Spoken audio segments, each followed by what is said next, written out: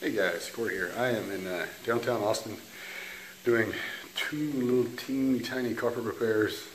The uh, apparently the people at the apartment complex threatened to uh, make them replace the entire carpet if this wasn't fixed. So take a look here.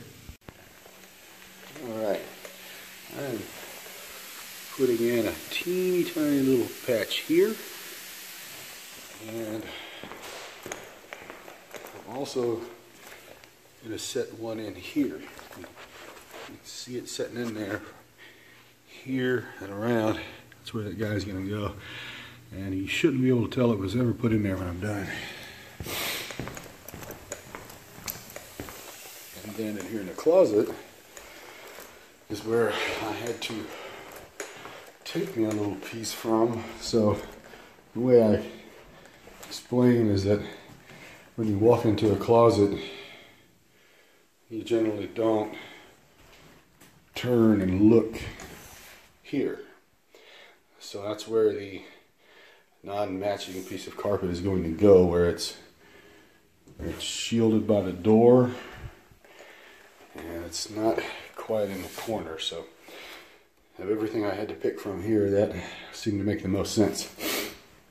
So I'll check in here in a minute when I, probably when I'm done. It's just a really small job.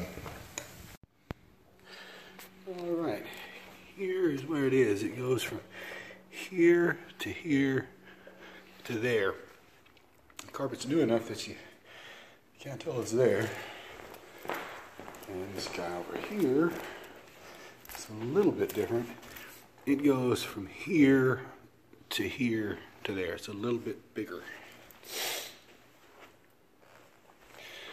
And then in the closet where I took the piece from, I don't really know why this works this way, but for some reason, when you actually join the pieces together, they blend, and it seems like the color matches just a little better. You know, it looked considerably different in color before I before I actually put the piece in there, but the two, honestly, I don't know if this is gray or blue. I'm I'm an idiot. I'm a guy. I don't know the difference between navy and black or or blue and gray. So to me, that's gray. It might be blue. I don't know. This is beige. It looks like, but they sure do go together pretty good. All right, guys. I'm gonna finish up my day in this video right here in this closet here in Austin, Texas. Anyway, I sure appreciate you watching the video. And if you have questions or need help with a project or if you happen to be around this area and see this video and need me, you're welcome to call or text.